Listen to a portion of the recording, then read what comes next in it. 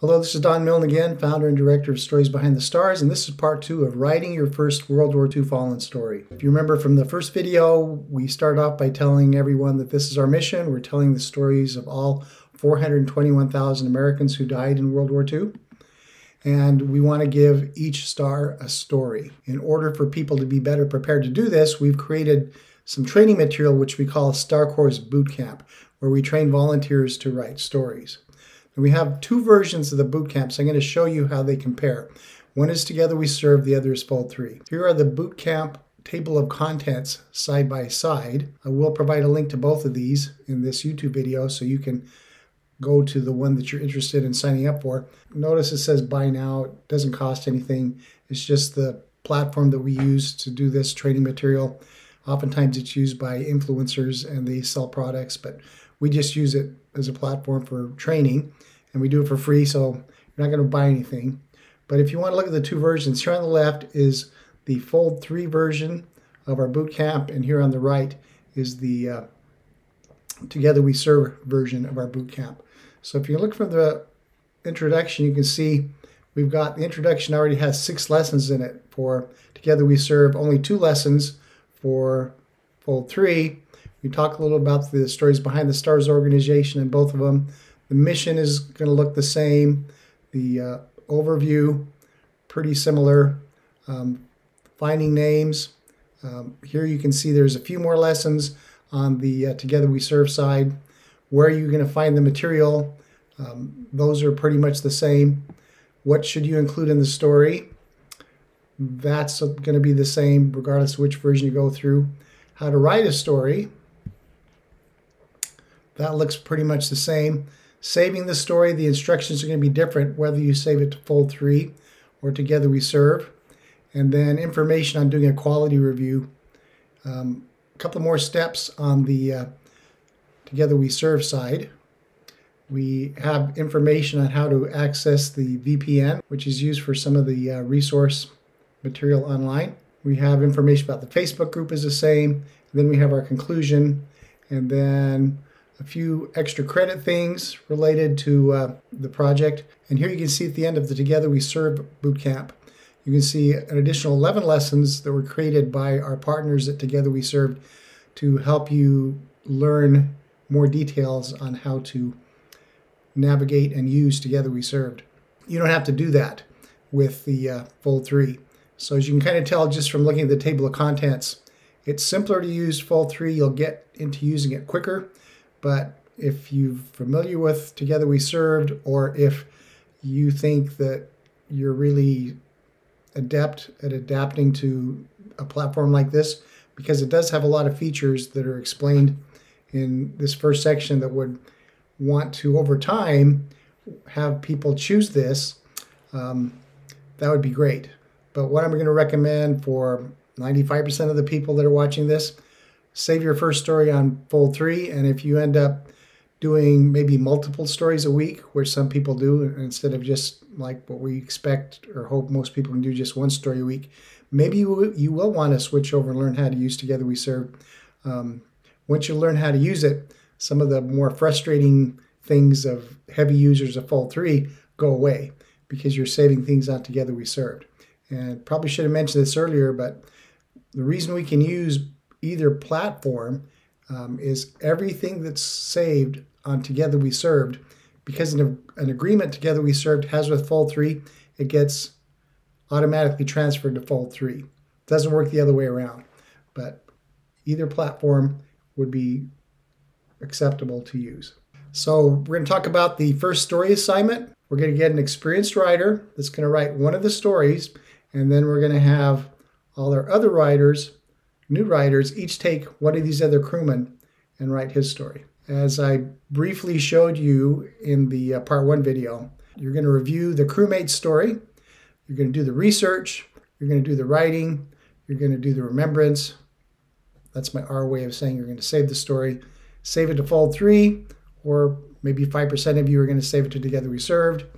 And then we want you to do a review. So the first thing you want to do if you're going to participate in doing this as your first story, you need to join a bomber crew. Well, how do you do that? You just need to email me at don at stories behind the stars, And then I will match you up with a director who is managing a project. Maybe it's Arlington, maybe it's a state project, and they will have had uh, an experienced writer write one of the stories from that bomber crew. And then they'll give you a name of one of the other crewmates. That'll be the name that you will write about. One way I think that really helps us to learn how to write stories is use examples of other people that have already written stories. And what better way than to read the story of someone who was on that same plane? Because a lot of the information that you need, that person's already found. And we're not asking you to copy and paste it completely, but your information is going to be very, very similar. And in some cases, it does make sense because if you're quoting from the same sources, you might as well include the same information. So here's a photo shot of a story that was written by one of our experienced writers, Dennis Dupras.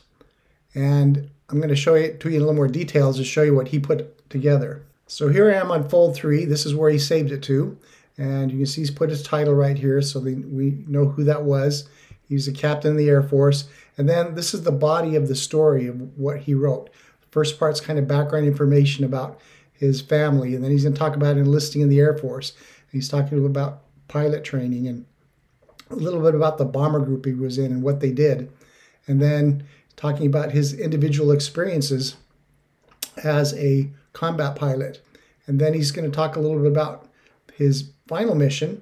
And in fact, he was able to, and you won't be able to do this for, for all of the, the stories you write about, but sometimes you can find what's called a missing air crew report. And he actually just included that in the body of the story. So looks like wow, I'm I'm writing a lot. Well, this part here was just a cut and paste thing to include information that was put together within a, a few days of when his mission went down. Then he's got a few more paragraphs to sum things up. He's got this author's note that is post mission about something related to uh, the family. And then we always have this standard paragraph at the bottom that kind of indicates this is a this is a group volunteer project so that when people read it and they say wow this is super cool. Maybe i'd like to do it they know how to uh, join our project. And then here at the bottom very important we include sources.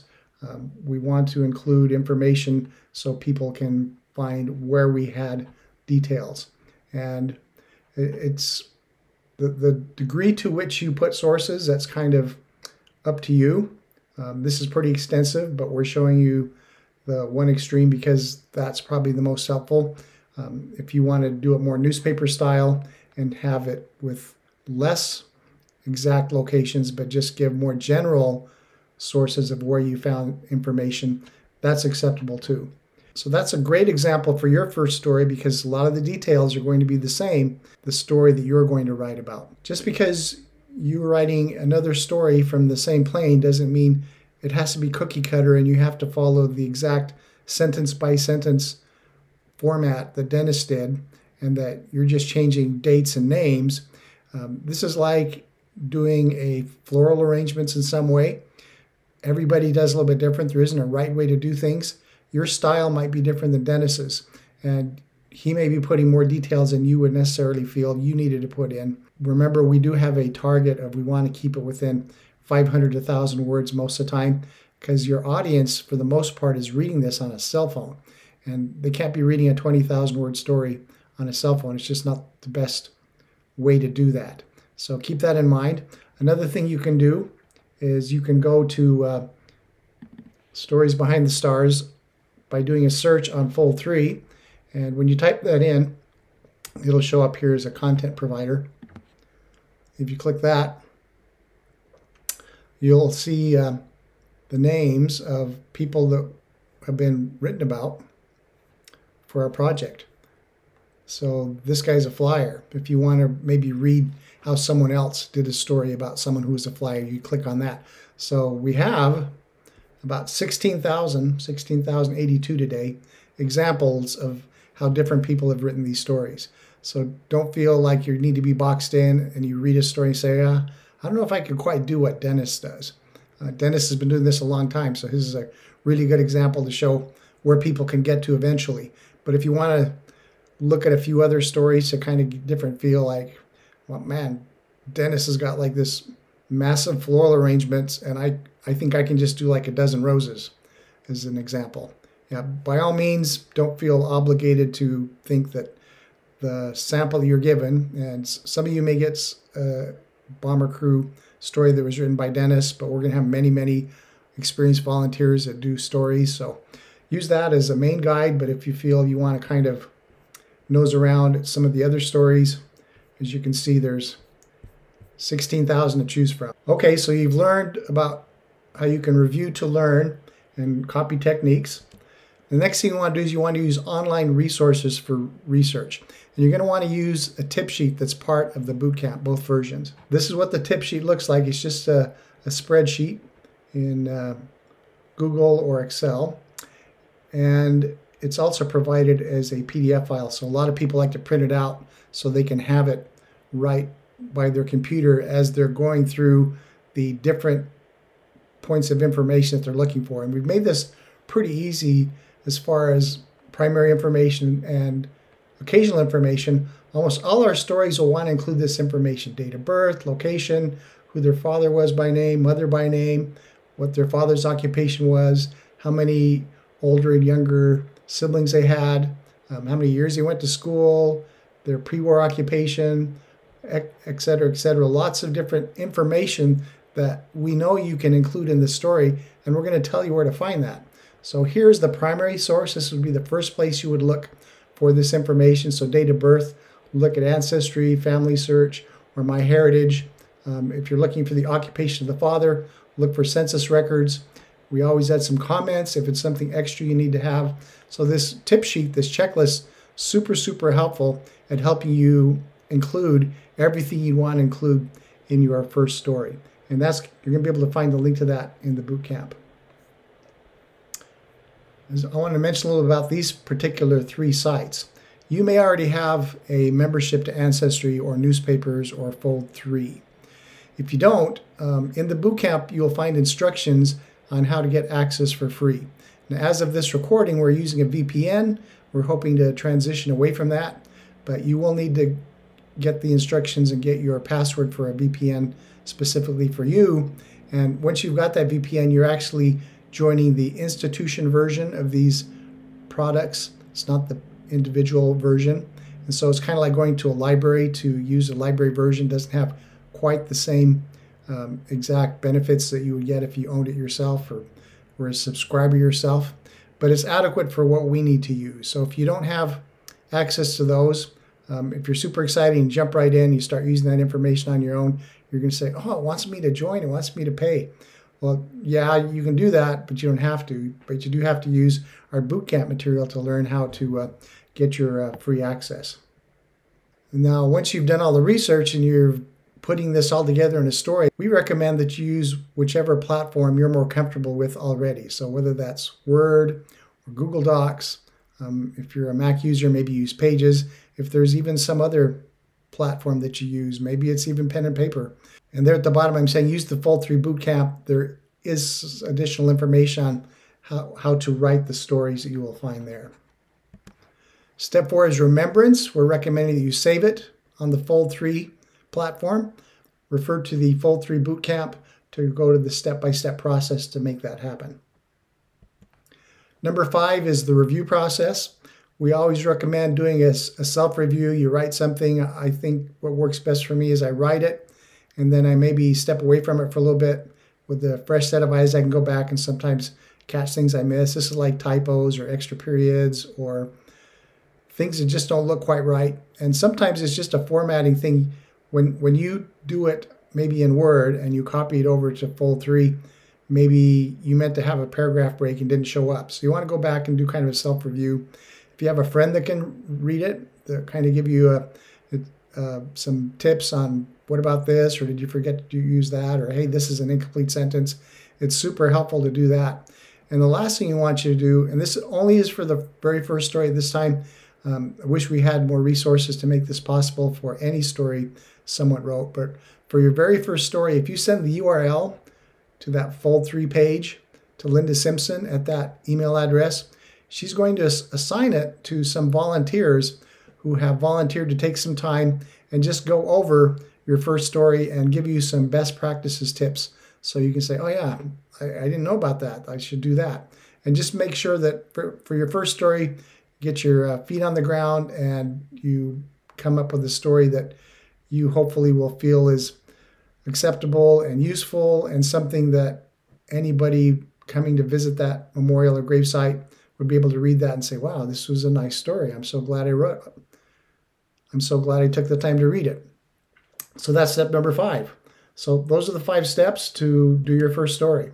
What's going to happen, and it's already possible because of our partners with Find a Grave and with Together We Serve, is people are going to be able to go to any cemetery or memorial, put in that person's name, and read the story that you wrote. Our volunteers are another great resource. Um, not sure if you'll be using this as much for your first story, you're welcome to, but obviously for beyond your first story, they're a great resource. If you join our Star Corps Facebook group, we have uh, getting close to 600 people that are on there. You can ask questions, um, and, and you'll oftentimes within an hour, you'll get an answer back. So, great resource. Our volunteers come from all backgrounds, all ages, all 50 states, about a dozen other countries.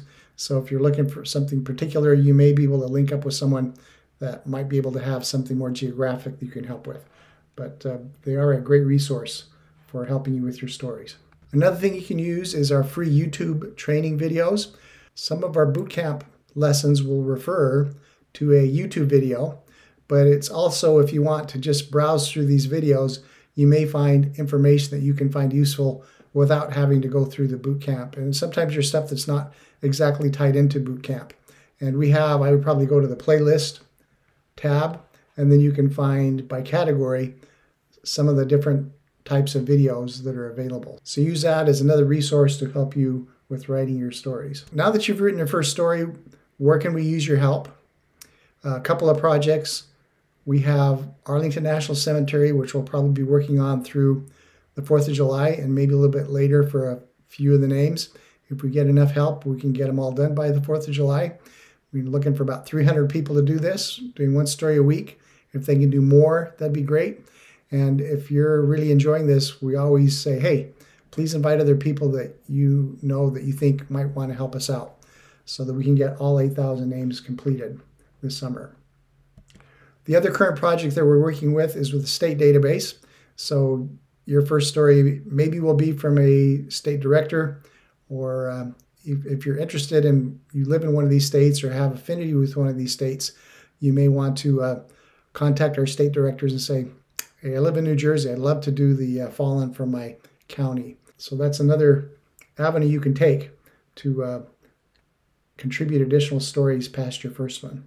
Wrapping up here, every fallen deserves a story, and with your help, we're going to make that happen. Now, once you've done your first story, continue on with Fold 3 for a while. If you're super comfortable with that, and maybe you're saying, I wish it had a little more features that I'm noticing I don't, I'm not able to do, maybe check out the other boot camp with Together We Served and go through that and say, wow, this has a lot of cool bells and whistles. Maybe I'll put the, the time I need, you know, five or six hours I need to go through these to really see how that works.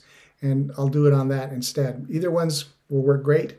Uh, and we uh, encourage you to pick whichever one you think will be more enjoyable for you. Thanks to all the supporters that make this possible. And thank you for listening to part two of this video.